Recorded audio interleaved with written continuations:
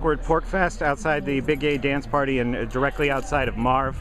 And outside of my business. And and this is a rare moment where you're not at work. You're standing here with Brian Hagen. Hello.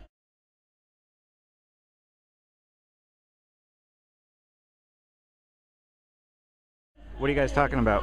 Um, we're talking about my penis. No, no, no. Before I came up, Oh. we didn't start talking about that till I came up. What's going on tonight? He's not taking. She's not. He's. he's it's a video. Um, what, and what did you come up with? Because by the time people see this, that will be uh, hopefully a legendary event. Um, I don't know. We we uh, we he just let me know what's gonna happen and. Uh, George, I- I'm gonna, I'm gonna, I'm gonna jump in here. George Alright, doesn't know what he's talking about.